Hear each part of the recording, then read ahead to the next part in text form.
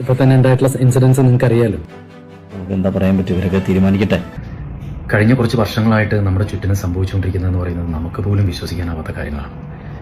ഈ കാലവും. Hema committee report വന്നപ്പോൾ മലയാളികൾ ഏറ്റവും കൂടുതൽ ഞെട്ടിയത് നടൻ ജയസൂര്യക്കും ഈ ഒരു സംഭവത്തിൽ പങ്കുണ്ട് എന്നുള്ളതാണ്. ഓരോ ദിവസവും ഓരോ പരാതിയാണ് ഇപ്പോൾ നടൻ ജയസൂര്യക്കെതിരെ വരുന്നത്. ഇന്നിതാ തിരുവനന്തപുരം സ്വദേശിയായ നടിയുടെ പരാതിയിൽ മറ്റൊരു കേസ് കൂടി രജിസ്റ്റർ ചെയ്തിരിക്കുകയാണ് പോലീസ്. തൊടുപുഴയിലെ ലൊക്കേഷനിൽ വെച്ച് ലൈംഗിക അതിക്രമം നടത്തിയെന്നാണ് പരാതിയിൽ പറയുന്നത്. സെക്രട്ടേറിയറ്റിലെ ശുചിമുറിയിൽ വെച്ച് ലൈംഗികമായി ആക്രമിച്ചെന്ന ആലുവയിലെ നടിയുടെ പേരിലാണ് പരാതി കൊടുത്തിരിക്കുന്നത്. എന്നാൽ ഇതൊക്കെ നടക്കുമ്പോഴും ജയസൂര്യ രാജ്യം വിട്ടു നിൽക്കുകയാണ്. നിലവിൽ ഇപ്പോൾ ന്യൂയോർക്കിലാണ് ഉള്ളത്. നിലവിൽ ജയസൂര്യക്കെതിരെ ജാമ്യമില്ലാ വകുപ്പുകൾ പ്രകാരമാണ് കേസ് എടുത്തിട്ടുള്ളത്.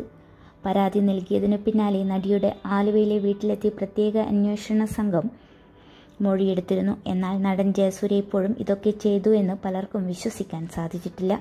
ജയസൂര്യക്കെതിരെ മുന്നൂറ്റി അമ്പത്തിനാല് മുന്നൂറ്റി അമ്പത്തിനാല് എ അഞ്ഞൂറ്റി ഒമ്പത് എന്നീ വകുപ്പുകൾ പ്രകാരമാണ് കേസെടുത്തിരിക്കുന്നത് ഹേമ കമ്മിറ്റി റിപ്പോർട്ടിൽ നിരവധി നടിമാർ ഇത്തരത്തിലുള്ള പരാതികളുമായി രംഗത്തെത്തി. അവർക്ക് പിന്തുണയായിട്ടാണ് തനിക്ക് നേരിട്ട ദുരനുഭവം ഇപ്പോൾ തുറന്നു പറയാൻ തയ്യാറായത് എന്നും നടി വ്യക്തമാക്കിയിട്ടുണ്ട്.